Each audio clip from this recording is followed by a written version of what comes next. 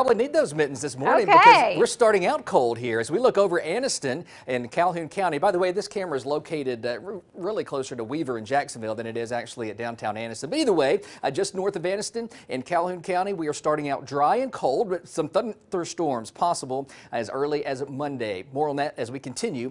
But a- as of this point, early in the morning, Jasper at 32. Look at Cullman down to 29 degrees. Anniston at 36. So south along and south of I-20, uh, we're running the mid to upper 30s. If you plan on getting out, doing a little bit of exercising, we're dry, so you don't have to worry about any type of rainfall. But certainly, uh, if you're a cold natured, uh, you'll need to bundle up early on this Saturday morning. And then by this afternoon, at around 2 o'clock between 55 and 60 degrees and also a pleasant breeze coming in. It will feel a little bit like spring. But unfortunately, things will change quickly. Clouds coming back in late today into tonight, leading to showers and then even thunderstorms. Showers tomorrow and then a few thunderstorms on your Monday. As we look at the radar across Alabama, absolutely nothing to talk about. So if you're traveling to the west, we'll say along out of Tuscaloosa back toward uh, Starkville and into the Mississippi Delta, we do have a few very light showers, not amounting to much, much at all. And then along the Gulf Coast, also some rain fall, falling south of Mobile. So let's start our future cast tomorrow afternoon around lunchtime. Hit and miss showers will begin increasing throughout the day. Not a washout, but you will have to dodge rain at times,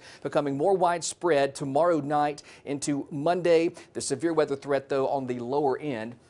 And then over the next uh, several days, another opportunity for some rain coming up on Wednesday. So bottom line, after today, we'll go right back into that same old unsettled uh, weather pattern. Mid upper 50s this afternoon. Uh, the wind out of the northeast 6 to 12, gusting as high as 20 miles per hour. And then during the day tomorrow again, showers at times, becoming more widespread tomorrow night into Monday. A break in the rain on Tuesday, and then additional opportunities for rain coming up by the middle of the week. Lillian.